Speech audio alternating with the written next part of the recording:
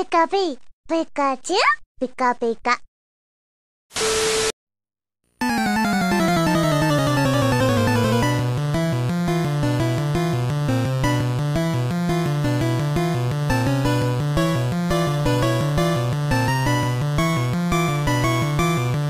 I've been a fan of Pokemon since I was in the first grade, when it first made waves across the United States. As a result, I was basically contractually obligated to collect the cards, play the games, consume all the anime goodness, and yes, see the movies. Shortly after it was translated and released to the United States, Pokemon the first movie made quite a splash in theaters. By no means was this in a financial or critical sense, mind you, but it certainly helped establish itself as a cultural phenomenon like nothing else before it.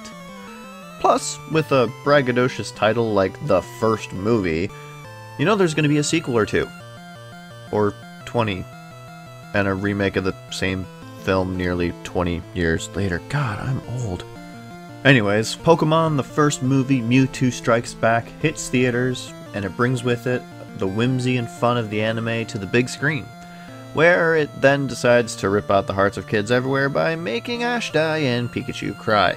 It also has a slightly confusing plot, mainly because Pokemon is all about superpowered animals duking it out in dogfights like you've never seen, but the movie's message is that that's bad, but they don't really stop.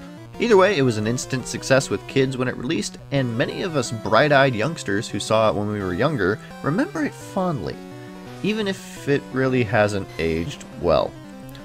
But after the third or fourth film, I kinda stopped watching them. I'd long since stopped watching the anime, and collecting the cards and playing the games was more just a habit at this point that I fell in and out of over the years. So please forgive me if I don't have the deep lore background understanding for Volcanion and the mar- mechanical. What? What is it? What? What is this? And for the longest time, that's pretty much where I stood in terms of the films. I still play the games, I still collect the cards, but don't really watch the show or the films anymore. I was more, you know, aware of their existence, but too focused on other things to really care to watch them. Then along comes Ryan Reynolds. When a Detective Pikachu movie was first announced, I kinda scratched my head. Were they really going to make a film based off of this somewhat obscure 3DS title that holds your hand throughout the entire game and has very little to no actual mystery behind it? Apparently, yes. Yes, it will and it will be live action with Ryan Reynolds starring as the voice of the titular Electric Mouse. Now, obviously, I was pretty apprehensive, given the string of cinematic bombs that were video game films, and the seemingly odd choice of Ryan Reynolds as the voice of Pikachu, especially since normally it sounds like this. Pikachu? Pikachu? But then trailers started to drop, and I gotta say, some of that old whimsy and probably a healthy dose of nostalgia made me feel like this was gonna be a good film? Was it possible that a video game movie made by people who actually cared about what they were making, rather than having a movie for the sake of merchandising opportunities or because a p- company bought the rights to the property years ago, was actually gonna come out? All signs seem to point to yes, and after seeing the film, I can happily say that it kinda does live up to the hype. The first and most obvious thing that is great about this film is the live action designs for all the Pokemon. Everyone was talking about them when the first trailer hit, and they pretty much stick through the entire film as one of the best parts of it. As RJ Palmer, the artist behind some truly impressive works of realistic Pokemon, puts it, he was offered the job when the production team behind this film Googled realistic Pokemon designs and found his work. And I can definitely say that that was probably the right call to make. Every Pokemon in this film is distinct from one another. And when you have shots that have 20 plus different Pokemon through a crowd or, you know, flying above, it's usually easy to discern which one is which. Each design is also relatively proportional to the canon heights of the games, meaning we can finally see just how oddly large a Snubbull can be. Even better is the amount of detail that each design implores. Charizard looks wrinkly yet scaly, Bulbasaur is adorable and reptilian looking, and Mr. Mime is a walking nightmare with dodgeballs for shoulders. While the film utilizes a few key Pokemon for a lot of the background and crowd shots, it's still pretty easy to tell which one is which and had me spending a good portion of the film looking to see all the various Pokemon that can be seen. For the sake of example, compare this image of Charizard with its anime design and this image of the new Sonic versus the original design. With Sonic, it more looks like they made conscious decisions to make him look more human, and not just in the teeth department, which is still just nightmare fuel. His proportions, his feet, his hands, just about all of it looks like a man in a surprisingly well articulated costume rather than anything resembling the blue blur. The Pokemon in this film, however, each have subtle design choices to them that help them stand out from one another and make them more recognizable. If you were to take that Charmander and make it a little bit more like a realistic animal rather than what its actual design looks like, you'd probably get something like this, and yeah, that wouldn't really fit that well. And yes, I know the Sonic movie said that they changed the design of Sonic or whatever, but like, that's a whole other can of worms that I, I really don't have time to open up today. While the designs of the Pokemon themselves are good, I really can't say the same for the story. But given that this is a kid's movie, let alone a Pokemon one, I kinda expected that going in. And even then, there were a few general surprises that were either welcome additions, unneeded plot points for the sake of runtime or action sequences, confusing divergences from the source material, or a combination of the three.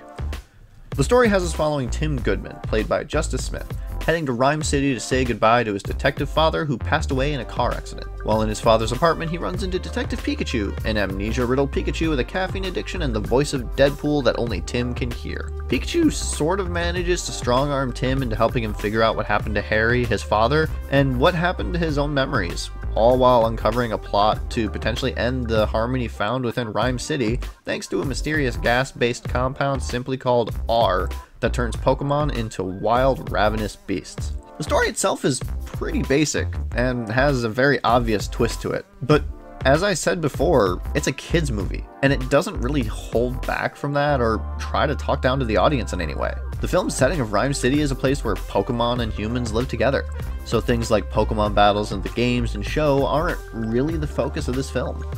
The one or two fights we do get are well executed and somewhat make sense for the story, and at no time during them do we have some character off to the side yelling at us for dogfighting with our special superpowered little animal friends.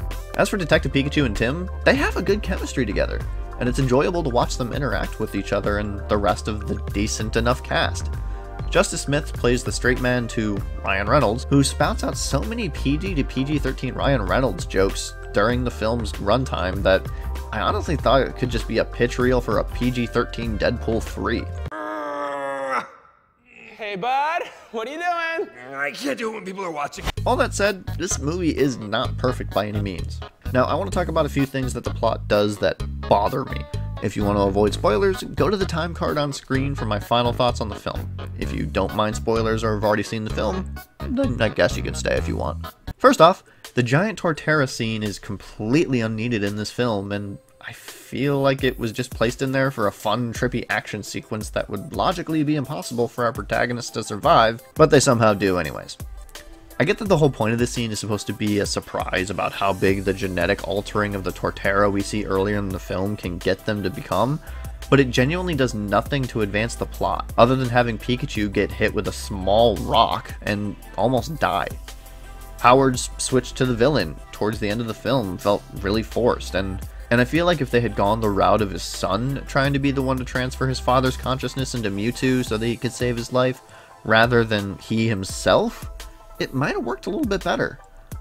What we get instead is a horribly done twist so we can see him turn humans into Pokemon, which is meant to clue in the audience that maybe hasn't figured it out already into the fact that Tim's dad has been Pikachu this whole time.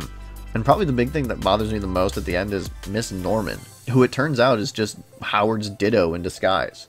There's a fun fight scene with the Ditto that keeps transforming into different Pokemon and attacking Tim or whoever needs to be attacked in that point of the scene, but I always thought that Ditto couldn't transform into humans? And like the whole BDI thing, while a fun visual gag for the film, wasn't always a Ditto staple and just something that some Ditto did because they couldn't quite transform right and it's now just become like the identity of the Pokemon. It's sort of explained away with a hand-wavy sort of line like, oh, it's genetically altered so it can become human if it wants, but it's just, it felt really forced and, again, like it was put in there for the sake of an action sequence. But in general, my complaints with the films don't really stop me from enjoying myself. Some of the plot points can be considered plot holes or whatever, but in general, it's just a fun, visually well crafted film that I enjoyed watching from start to finish. As an adult with the attention span and oftentimes mind of a child, it was awesome to see some of my favorite Pokemon in a more realistic setting, making some of my childhood fantasies have a more solid grounding now. While the film isn't perfect, it does have a lot of genuine heart and love behind it, which is more than you can say about some other live action video game films. The film is fun, whimsical, and full of just so much attention to detail that it's hard not to like it. And whether you're a kid, an adult who's still a kid inside, a Pokemon fan, or an avid moviegoer or gamer, I say don't skip out on this one. It's rare we get a video game movie that's genuinely good, and if we choose to support a film like this that's actually got some heart behind it, rather than just some cheap cash grab that references as many pop culture things as it can for the sake of jokes, I think it'll mean we'll get more films that are good, as well as from franchises we've wanted to see on the big screen for years. While I wouldn't claim this to be one of my favorites of all time in terms of movies or even Pokemon media, I say that it's certainly worth it to catch this one out in theaters.